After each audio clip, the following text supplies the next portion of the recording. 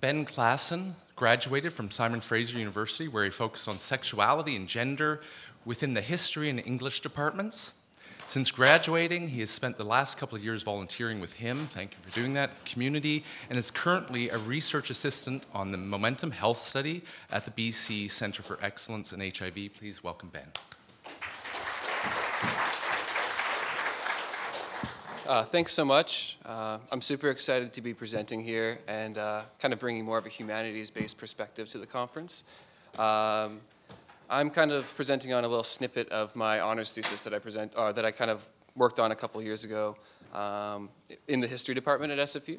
Um, I was, uh, I kind of started with this great grandiose idea of writing about Vancouver's AIDS epidemic and trying to cram that into a 30-page paper. And turns out that you can't really do that. So I, uh, I, scaled back and I looked at this publication called Angles, uh, which was a local queer periodical that was being published throughout the epidemic, uh, or at least the heightened years of the epidemic. Um, and I really wanted to look at how Angles uh, influenced discourse and how it engaged with mainstream discourse and deconstructed mainstream discourse. Uh, so in this sense, I'm kind of, kind of looking at the parallel epidemic of meanings, definitions, and attributions tied to the main uh, medical AIDS epidemic. Um, so there was a, a, few different levels of stigma uh, existing, pre-existing, uh, that kind of got condensed into this AIDS discourse.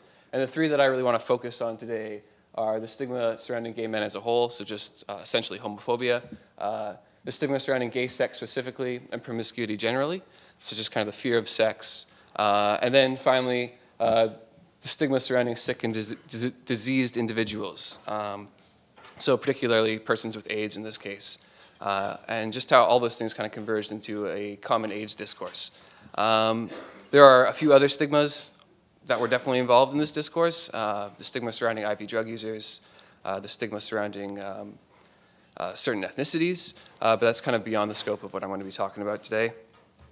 Um, so one way of conceptualizing how stigma and AIDS and discourse uh, all relate is this idea of AIDS as a moral panic. Um, and that's defined here as an irrational, exaggerated, and distorted response to assumed threats that are projected onto individuals or groups based on pre-existing stigmas or discourses, producing largely imagined sexual, uh, monsters or sexual scapegoats.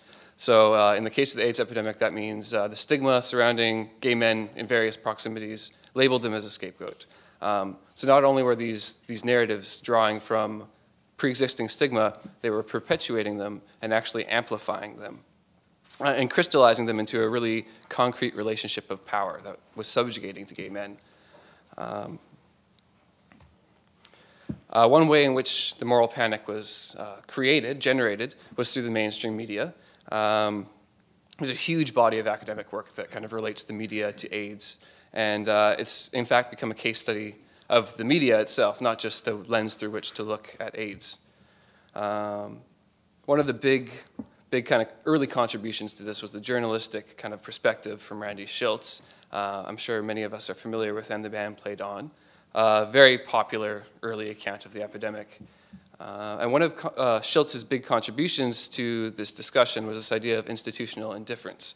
Um, so Shilts embeds the, the media within a wider spread idea of indifference that included uh, government institutions and medical institutions as well, and explains the inaction by saying, essentially, that there was just a reluctance to engage with gay men and gay sex, especially in the media, um, where it wasn't really seen as a family-friendly topic.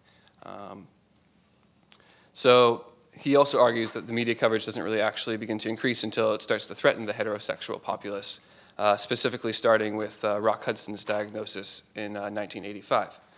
Um, this account has been criticized in, uh, in a lot of different ways, but he definitely framed a lot of what was going on in these discussions.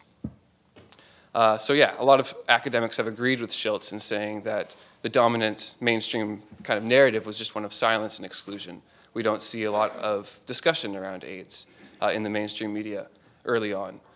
Moreover, when it is portrayed, it's, uh, it's vague, homophobic, uh, and, and impersonal. So we don't really see a sense of the, the emotional impacts of the epidemic.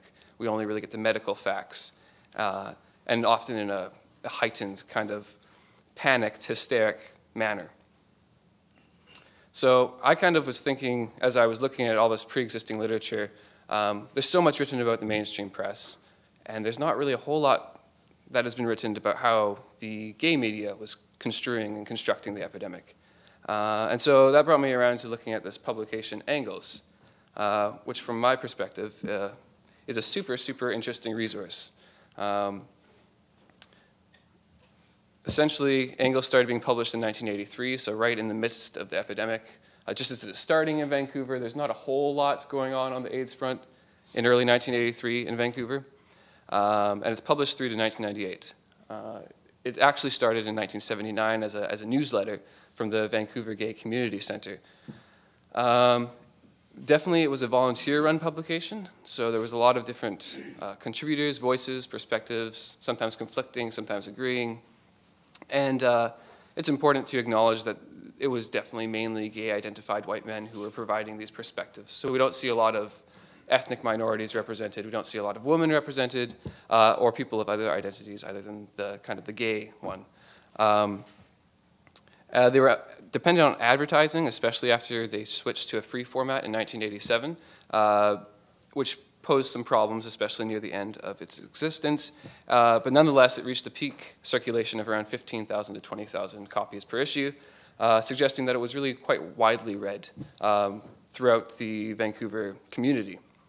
And I think really interestingly, from my perspective, it's a, it's a explicitly, um, explicitly political publication. Uh, they were committed to the idea of gay and lesbian sexual liberation from the start and continuously throughout the publication. So we see a little bit of a contrast here between maybe the popular representations we see in the gay media these days versus the more overtly political uh, kind of narratives that are being brought up in angles. Uh, I'm not making a value judgment on that, just kind of pointing out the obvious there. And uh, as I've said, they were covering the epidemic from very early on in Vancouver. So we see uh, consistent coverage throughout the epidemic, really, but uh, intensifying in the mid 80s and into the early 90s when the epidemic was really at its peak in Vancouver. Um, and they focused on the epidemic on multiple levels. So we see a focus on, yes, the sterile medical facts and the available treatment options, experimental options. Uh, but we also see, that, see personal testimonies and education around safer sex practices. So there was this conceptualization of the epidemic as, as not just a medical phenomenon, but as a personal, emotional, and social one. Um, and really close ties to a couple of the AIDS organizations operating in Vancouver at the time, such as AIDS Vancouver and the PWA Coalition, uh, who contributed articles and were also advertised quite frequently uh, in the publication. So I want to switch to talking a little bit about how Angles went about confronting the mainstream discourse around AIDS and uh, specifically confronting the three levels of stigma I mentioned in the beginning. So on the most basic level, Angles was very outspoken about anything that was overtly stigmatizing to gay men uh, and anything that was uh, kind of homophobic, obviously. Um, one way in which they did this was by engaging in the mainstream media and uh, kind of portraying a lot of their their articles as homophobic, ill-informed, and hysteria-inducing, especially as they uh, surround the AIDS epidemic, their articles. Um, so they, uh, Angles kind of takes certain articles and deconstructs them and shows them where the facts are totally off and are really just producing hysteria, for instance. Um, so they suggest that some articles contain misreported statistics, misquoted doctors, and that ultimately uh, the mainstream press was just overemphasizing the threat to the general populace. So that, again, this kind of whole idea of, of a moral panic. Um, and at one point, uh, they even referred to the province, who was kind of took probably the heat, most of the heat um, from Angles, as their uh, very own scandal-mongering tabloid. Uh, after the province had published this article uh, that had suggested the HIV rates in the gay community were about double of what they actually were, and Angles was just kind of thinking like, where did they get this information from? Um, and they were very irreverent towards the mainstream press, as you can kind of see. This is a, this is a uh, kind of a parody or a satire of the Vancouver Sun. Uh, they don't think very highly of their, of their media coverage in general. One of the most overt ways in which this homophobia was uh, kind of attacked was uh, in the case of the quarantine scare in 1987 uh, which I had no idea had even happened. But uh, there's this bill, Bill 34, that was uh, being passed or attempted, they were attempting to pass it, that was going to grant the provincial government the ability to quarantine any person suffering from a communicable disease. Um, so that wording is, is intentionally vague. It can be applied in all sorts of different circumstances, but based on the fact that the Vander Zalm government had been uh, you know, not providing funding to AIDS organizations and had been uh, you know, unsupportive of gay rights, uh, a lot of the Angles contributors took this as a, uh, like took this as a, as a, an attempt to quarantine gay men. So there was a very intense uh, coverage in Angles, uh, at least 10 articles published in like a six month span that really attacked this idea. Um, particularly, they latched on to the ways in which kind of combining stigmas were, were being com like combined again in this instance. So uh, we see that homosexuality is again being made a medical condition in popular opinion. So this idea of, of gay men and sickness being really closely tied together in the mainstream. Um, and so it was really being interpreted as a result of homophobia and AIDS hysteria. Uh, ultimately, uh, large grassroots response formed in uh, kind of to combat this, this uh, bill. Uh, so the Coalition for Responsible Health Legislation, which was a coalition of gay men, feminists, lesbians, uh, sexual health practitioners, and public health practitioners, et cetera. And they really spoke out against this legislation. It didn't end up being passed in the form that it was initially attempted to be. Um, and Angles covered that as well, and I, I would uh, argue played a, a, small role, at least, in, uh, in motivating the formation of that coalition with its coverage. So the second area that I really want to highlight in terms of, uh, of combating stigma is the stigma around sex and promiscuity.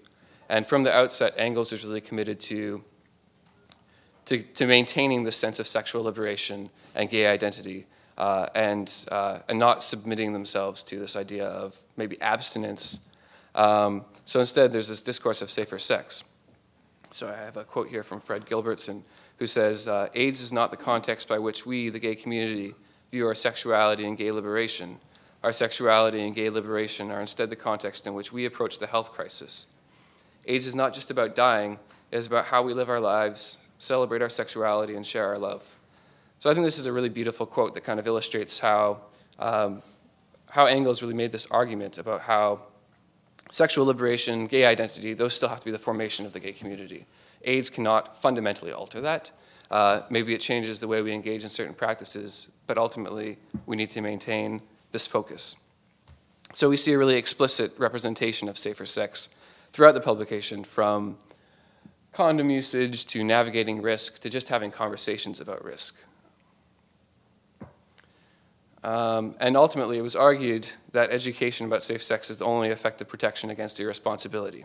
So not abstinence, but just like a better understanding of what these, these practices meant uh, and the risk involved in those. So we see like some medical kind of ideas around high risk, low risk activities, um, but importantly portrayed in a really colloquial manner. So we see like, we don't talk about unpro uh, unprotected anal intercourse. We talk about fucking and sucking and, uh, and fisting in this publication, um, which is really important because I think it made the information a lot more accessible to a wide audience. Um, and then there were also some interesting attempts to eroticize safer sex. So uh, that poster is kind of an attempt there, I think. Um, so yeah, eroticizing condom usage, eroticizing alternative forms of intimacy like jack-off parties. Uh, and ultimately the goal is to generate a personal decision of what is an acceptable level of risk. So it's about empowering gay men to make their own health decisions. Uh, most importantly, from my perspective, Angles did a really good job of challenging the stigma around PWAs. Uh, and in doing so, humanized the epidemic in some really profound ways. Um, I have just a couple quotes here from, from these interviews that Angles would do with PWAs, these really in, in-depth interviews. And uh, so Alan Hickok says, the only negative reaction I've gotten to my AIDS diagnosis is some friends and people I don't know feeling pity and remorse. And they really shouldn't because it happened, as I've said before, and I'm going to go on with life, and now I've got a purpose to try and help with this issue. Uh, Kevin Brown kind of said some uh, similar sentiments. Uh, if I stopped playing baseball, I'd be admitting that the disease is taking over. I'm not letting AIDS control my life that much. So there's this really overt denial of victimization in these accounts, and this kind of claiming, as, uh, claiming of an identity of agency. Um, saying, uh, kind of throwing off the victim, the victimization that had been applied to PWAs and saying we're actually going to fight against this. And I think that's really important because it was also, there's some logic there. Like if, if the supposed victims of the epidemic can rally and fight the epidemic, then surely the rest of the community can get behind them in, in combating the epidemic. So we see some really interesting personal accounts with a great deal of depth and nuance. And we really get to see uh, we really, really get to hear these, these voices in a really interesting way. So the nuance could look like, um, you know, discussing diagnosis and, uh, and disclosure of diagnosis and the emotional impacts of that, or the experience of stigma, the experience of, of trying to track down experimental treatments, um, or even just the quotidian struggles of, of trying to get up the stairs and feeling really, really weak. Uh, so there was definitely a, a, a, massive feeling of empathy here in these portrayals. Uh, but there was also this feeling of agency. Um, so, and, and additionally, I would argue there's also this kind of sense of frustration in these accounts of not being able to find funding, of not being able to reach experimental treatments. So there's empathy, there's frustration, and it's really this motivational force to, uh, to push gay men into an activist kind of role, a grassroots response throughout the community. So I would say that it's a, uh, that Angles, in this sense, is, is kind of putting out a mobilizing call to the community and confronting the stigma around uh, this population. So I just want to finish by saying um, that uh, Dan Guinan kind of wrote at one point during the quarantine crisis that it's clear that nobody will fight the battle against AIDS unless we do it ourselves. And I think it's clear from the outcome of the epidemic uh, that that's exactly what we did. We, we formed a massive grassroots uh, movement, um, including public health professionals, uh, but really based within the community because we had to.